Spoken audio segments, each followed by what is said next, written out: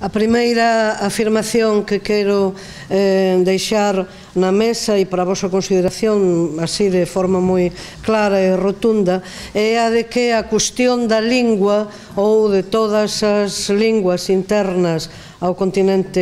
eh, europeo ou en xeral todas as linguas do mundo non é en absoluto eh, unha cuestión que navegue eh, isoladamente ou solitariamente no oceano do imperialismo ou da globalización ou da mundialización, senón que é unha peza que existe nunha solidariedade estrutural mm, cerrada e compacta dentro de todo ese poliedro de dominio, de hexemonía e onde efectivamente a lingua xoga un papel fundamental. Eh, idesme permitir que faga unha leve recordación histórica para verificarmos, para comprobarmos como no arranque xa da modernidade e en concreto dentro do, eh, da España política do, da monarquía española a comezos do, do século XVIII esta eh,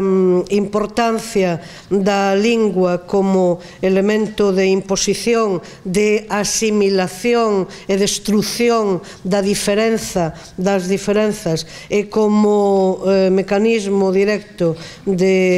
unificación ou uniformación política xa existía. Por exemplo, podemos lembrar a afirmación tan clara do decreto de nueva planta de 1707 aplicado a territorios cataláns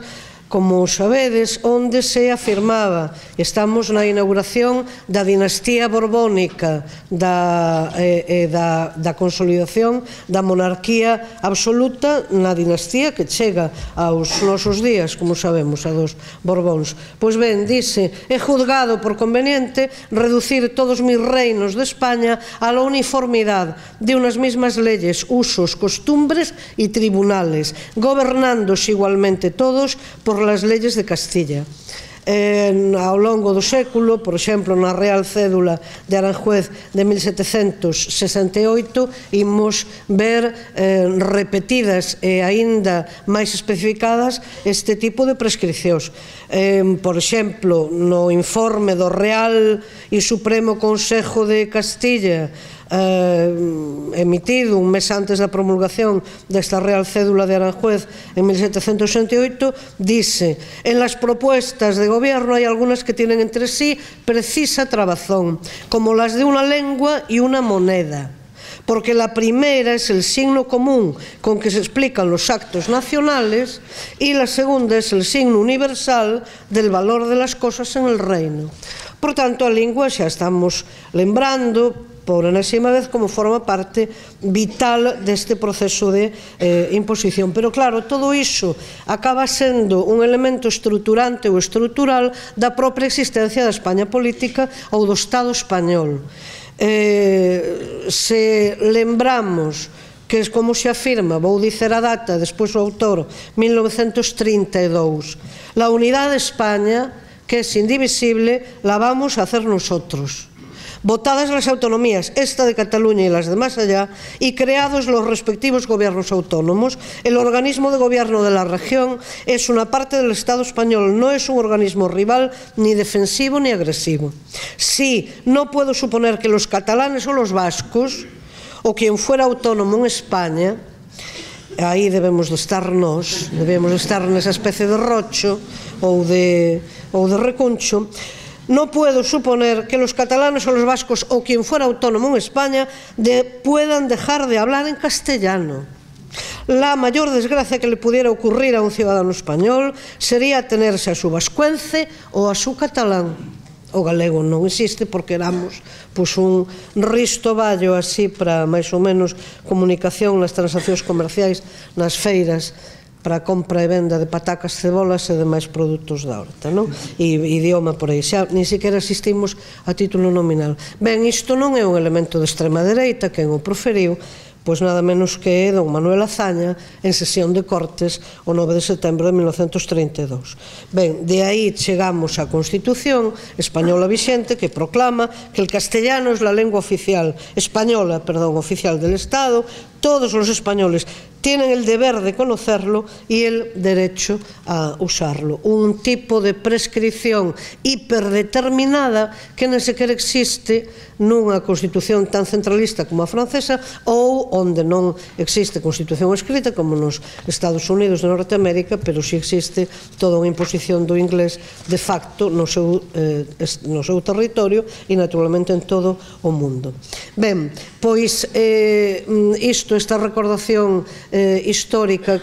quere ter o, o, o valor ou cumprir a función de lembrarmos como eh, esta, todo este proceso xéstase nas monarquías absolutas, nomeadamente na francesa, pero atravesa e fica perfeitamente asentado e aínda moito máis desenvolvido na Revolución eh, Francesa. Eh, que non é nada eh, revolucionaria, ou mellor dito, non é nada democrática, en dúas materias fundamentais, que son as linguas que non eran o francés, eh, que denomina en textos dos revolucionarios franceses aparecen chamadas farrapos medievais, que, por tanto, cumpría arrasar en nome da modernidade, e a outra materia non por casualidade, son as mulleres. Naturalmente, os dereitos das mulleres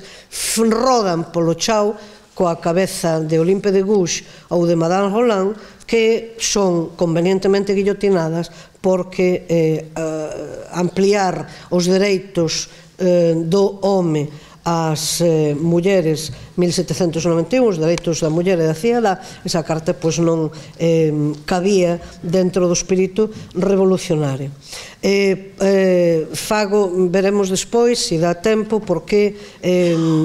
teño interese en facer este subliñado. Pois ben, entón, a partir de aí, deses antecedentes, podemos contemplar históricamente o desenvolvemento, o camiño dunha rota represiva que ten en Franza, que ten na, no hexágono, a súa expresión, como acabo de lembrar agora, xa desde a Revolución Francesa, a súa expresión máis contundente. Efectivamente, foi un proceso de arrasamento das linguas eh, internas a, a esta Franza eh, política. E na Europa, eh, ou no resto do continente, no reverso agora desta situación, tamén anotamos unha rota liberadora ou normalizadora. E entón, como históricamente acadou un estatuto de normalidade o noruegués liberándose da tutela ou da imposición do dinamarqués, o finés a respeito do sueco, o checo ou o húngaro a respeito do alemán ou o polaco a respeito do ruso, do eh, alemán tamén ou do francés. Como podemos contemplar tamén o eh, experimento falido ou o caso falido dunha Irlanda da que deberíamos tomar moi boa conta nós, galegas e galegos, porque no declive brutal do gaélico, a pesar desde 1920, 21, 22, ser declarado o gaélico irlandés lingua oficial do Estado recén constituído, eh, non deu eh, aturado a presión in misericorde do inglés, xa inclusive por proximidade, non únicamente por dominio político e económico, mas tamén, por iso digo que deberíamos aprender moi moito deste exemplo para evitarmos nos a irlandesización, eh, non deu eh, tampouco eh, aturado ou non deu reconducido toda a oposición interna. Efectivamente, no caso de Irlanda é moi, eh, foi eh, determinante a posición dos propios eh, funcionarios ou dos intermediarios todos a respeito do, do poder eh, inglés. Ou ben, podemos recordar tamén, e isto chega aos nosos días, como eh, casos pretensamente modélicos como os da Confederación Helvética, con catro idiomas na mesma estrutura do Estado, alemán, francés, italiano eh, e eh, reto románico, eh, é exemplo eh, elocuente de unha xerarquización que en absoluto permite un diálogo en pé de igualdade. Cando a fins da década dos 90, dos eh, 80, un deputado tivo a ocorrencia nunha Asamblea Federal de utilizar o reto románico, eh, montouse tal escándalo que efectivamente foi interrompida a sesión, de maneira que a xerarquía de idiomas está perfectamente clara. Pois ben, chegamos xa á estrutura eh, actual e o que mudou no vocabulario na práctica eh, europea dominante é a distribución de unha terminoloxía eh, camufladora o paternalista eh, que eh, mantendo clara a hexemonía das linguas oficiais dos estados e o papel destes como xendarmes das súas eh, situacións interiores, por tanto, no noso caso, a dominancia absoluta do español como policía constante a respeito do galego, do catalán e do vasco, vai, porén, distribuir unha nova eh, mm, fraseoloxía terminoloxía ou un novo palabreado. Aí é onde van, vou nomear só tres termos que son tres ou catro que son fundamentais. Riqueza, hm? eh, diversidade, plurilingüismo ou Europa como mosaico lingüístico. Son facilmente desmontáveis. A lingua non é unha riqueza, non ten a ver, podemos ser paupérrimos e en sendo humanos somos seres lingüísticos, por tanto non é nada engadido á nosa eh, condición. A diversidade é ínsita a toda a humanidade, non hai, non existe a lingua senón as linguas como produtos históricos e sociais, por tanto a diferenza xa está, xa pertece á propia Babel, que somos a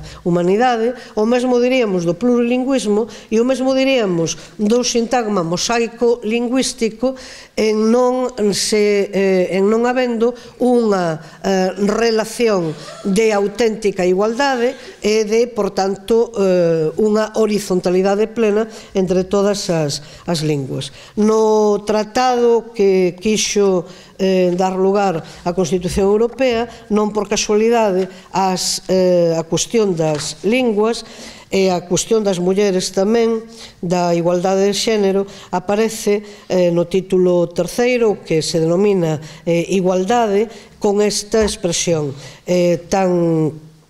tan breve. A Unión respeita a diversidade cultural, religiosa e lingüística. Sabemos ben que o termo, eh, que o verbo respeitar non ten o menor valor eh, legal en absoluto. Mesmo hoxe a, o descaramento a prol dunha única eh, lingua de comunicación dentro da Unión Europea é total. Sabemos que eh, perdido xa completamente o prestixio, entre aspas, ou o predominio do francés como lingua da relación diplomática, pois sabemos que esa nova lingua imperial que é o inglés, mesmo en detrimento do eh, eh, alemán e eh, con incumprimento garantido dos propios textos emanados da Unión Europea. E refírome a un deles eh, que ten orixe no ano 1982, que é a Carta das Linguas da, chamadas así